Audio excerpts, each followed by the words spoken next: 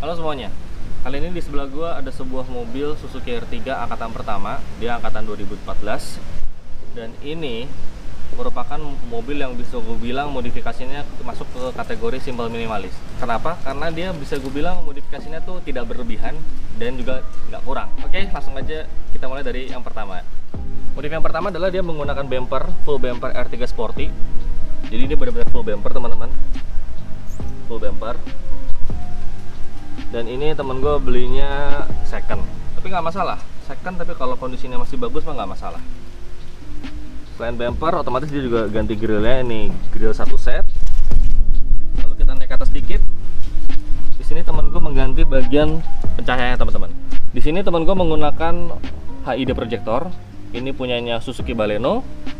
Dan ditambahin dengan DRL Sen Running Crystal kita lihat tuh seperti apa nyalanya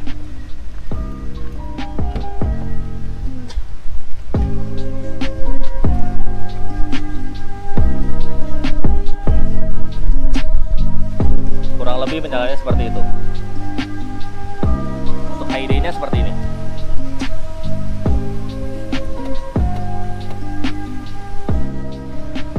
Untuk catnya teman-teman ini catnya spesial teman-teman. Ini special request.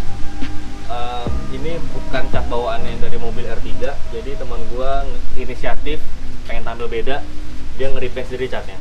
Oke kita geser ke bagian ban. Di bagian ban teman-teman jadi temen gue mengganti peleknya ini menggunakan Suzuki APV Luxury yang tipe kedua. Untuk bannya dia menggunakan ban Bridgestone seri MY02 Sporty Style dengan ukuran 215 per 45 ring 17. Untuk ban depan dengan ban belakang itu berbeda teman-teman. Jika ban depan menggunakan Bridgestone MY02, ban belakang menggunakan Achilles Sport, tapi sama-sama dengan ukuran 215 per 45 ring 17 juga. Untuk di bagian atap teman-teman, ini agak sedikit berbeda karena temen gue mengkombinasikan dua warna, warna biru muda dengan warna putih. Ini mungkin konsepnya dua warna teman-teman, atau two tone yang bisa lagi ngetren-ngetren di 2021. Lalu di sini temen gue menggunakan antena, ini menggunakan Sharpie antena. Ini bisa dibilang konsepnya lain daripada ya biasanya, yang di mana kalau Sharpie antena tuh bisa ditaruh di belakang, ini ditaruh di depan. Kenapa ditaruh di depan? Karena antenanya R3 tuh bawahnya di depan teman-teman jadi mungkin konsep temen gue adalah dia pengen pasang Sharpin di depan terus ditambahin antena lagi uh, kayak Ultraman lah mirip-mirip kesannya lah. Bagus sih.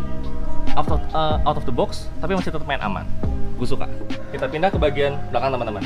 Di bagian belakang di sini temen gue menggunakan spoiler R3 tapi yang batch kedua. Jadi masih R3 facelift. Uh, bisa dibilang facelift kecil-kecilan.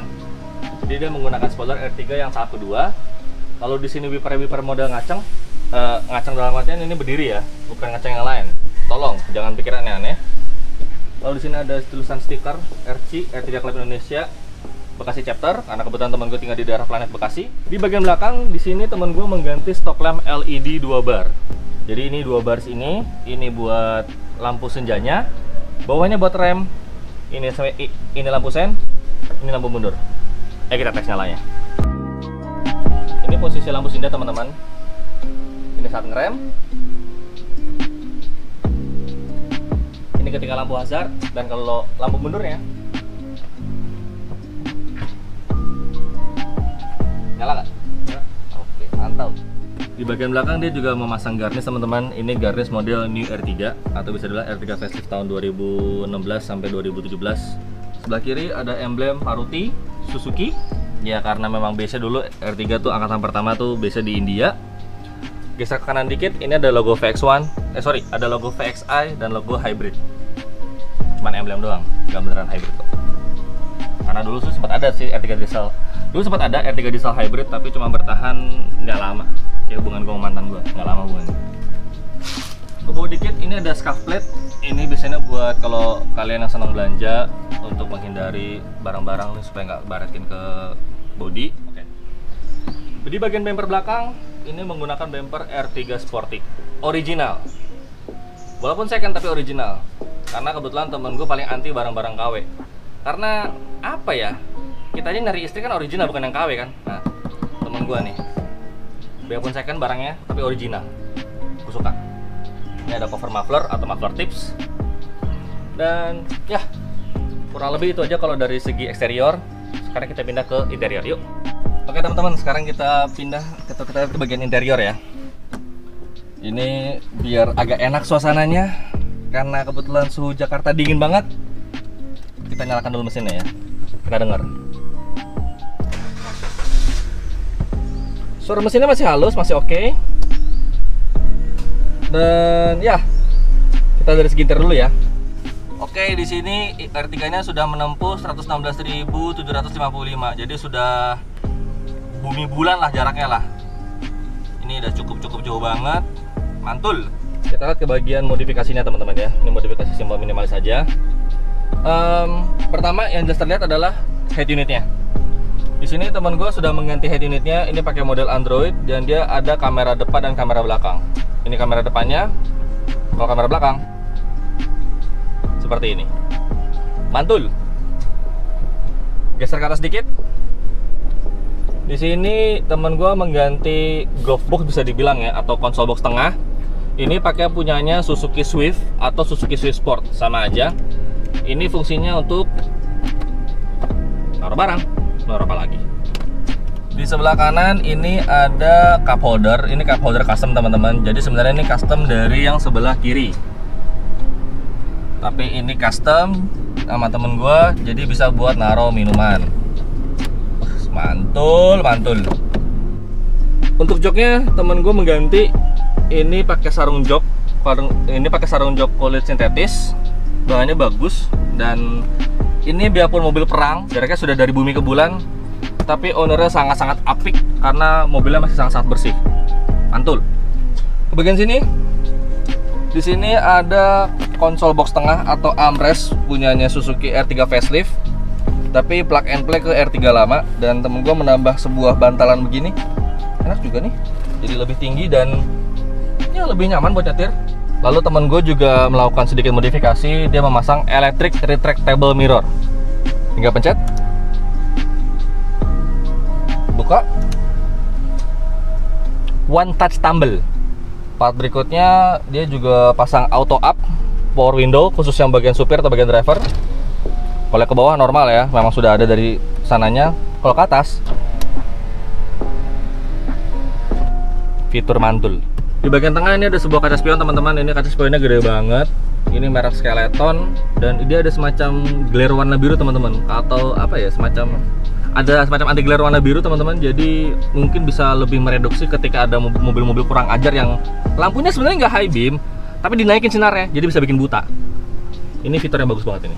Temen gue juga memasang seal plate teman-teman. Ini untuk pencegah kalau ada sepatu high heels jadi bisa baret-baretin body. Temen gue memasang ini. Suatu hal yang sebenarnya simpel tapi sangat berguna. Mantap. Oke pindah ke baris tengah ya. Di baris tengah ini ada sebuah fitur yang memanjakan bagi teman-teman yang punya berkeluarga atau yang sudah punya anak. Bukan gue maksudnya. Uh, ini kebetulan ownernya memang sudah berkeluarga. Ini dia memasang headrest R3 elegan original sekali lagi R3 elegan original. Karena temen gue paling anti barang-barang KW gue suka tipe orang seperti ini di mana dia modifikasi tidak hanya secara tampilan tapi mementingkan fitur di, di bagian interiornya. Terutama ini untuk fitur untuk anak-anak ya kan? Tadi gue dapat sedikit info dari ownernya. Jadi gue ralat sedikit ya ini sebenarnya R3 2012 gue pikir juga sebenarnya ini R3 2014 ternyata ini malah R3 R3 2012 anehnya kenapa ada udah ada ini teman-teman ini adalah double blower dan ini double blower originalnya Suzuki teman-teman. Jadi teman gua mengcustom interiornya di mana dia memasang double blower original dan ini berfungsi loh. Nggak cuma hiasan doang. Teman gue menghabiskan duit buat ini aja kurang lebih antara 15 sampai 20 juta. Wow. Sebuah dedikasi untuk anak-anaknya karena anak-anaknya karena mungkin temanku tidak pengen anak-anaknya kepanasan dalam mobil sehingga dia memasang double blower. Nice. Oke teman-teman kita udah bahas secara first impression. Kita coba tes tipis-tipis ya. Ya kita muter-muter sekitaran SBT Pulau Gadung aja. Yuk.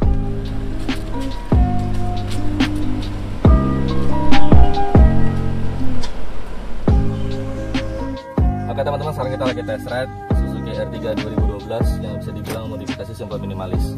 Oh iya, gua, gua pelupa ada suatu fitur tambahan. Jadi temen gue sudah memasang auto door lock by brake. Jadi ketika kita menginjak rem, kunci akan langsung otomatis. Pintu akan langsung otomatis mengunci. Lalu ketika kita mematikan mesin, otomatis dia akan langsung unlock kunci. ini kita tes tipis-tipis aja teman-teman ya karena ini bukan mobil gue jadi kita tes tipis-tipis kita coba dari simple asal hasil aja yuk oke. Akselerasinya masih enak teman-teman. Kaget gue. akselerasinya masih enak. Untuk sebuah mobil yang umurnya 9 tahun 9 years entah kan awalnya masih enak. Oh ya teman gue ini manly banget.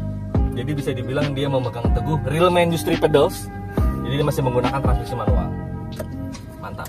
Lalu untuk bantingan suspensinya surprisingly walaupun temen gue menggunakan pelek ring 17 dan ban yang dan dan profil ban yang bisa dibilang tuh tipis tapi bantingannya masih cukup enak teman-teman coba kita tanya sama videografer gue dan menurut tuh bantingannya masih enak gak? Masih lumayan. dibandingin sama mobil gue enakan mana?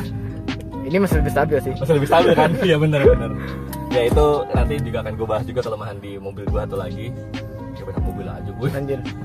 Ya pokoknya ini dulu gue pernah punya ini teman-teman R3 eh, dari 2014 sampai 2019 singkat cerita ya. Dan itu gue bilang mobil yang bandingannya masih enak banget gak limbung bawa kenceng juga masih enak bawa 140 160 juga gue masih enak. Ya tapi sayangnya karena butuh duit akhirnya gue jual. Well ini enak kok di mobil masih enak banget. Em, anjing Swissport lagi bangsat. Aduh. Ada Swissport tadi aduh. Oh udah tuh di kamera record apa enggak nih Swissport nih. Nggak kelihatan anjir. Tuh, yang putih, Wih di. itu the real Swissport teman-teman. Em, ya intinya mobil ini masih sangat enak teman-teman. Bahkan dengan pelak 17 seperti tadi gue bilang bandingan suspensinya masih sangat nyaman masih sangat manusiawi. Oh ada minusnya teman-teman. Audionya masih standar tapi mungkin karena temen gue tidak mem- tidak memprioritaskan audio tapi dia lebih memprioritaskan ke kenyamanan berkendara. Ya, kalau itu preferensi motif masing-masing. Mantul? Oke teman-teman kurang lebih seperti ini review singkat modifikasi simple minimalis dan test ride tipis-tipis Suzuki R3 2012 punya temen gue Kesimpulan gue adalah eh, mobil ini berhasil membuat gue rindu kembali ataupun kangen kembali dengan sebuah kendaraan yaitu Suzuki R3 yang dulu pernah gue punya.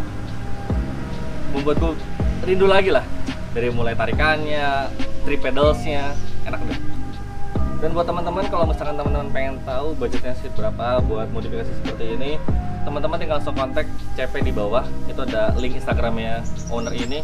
Kalian tinggal tanya pada orangnya oke? Oke teman-teman sekian video kali ini. Semoga video ini bermanfaat buat teman-teman pamit undur diri. Bye bye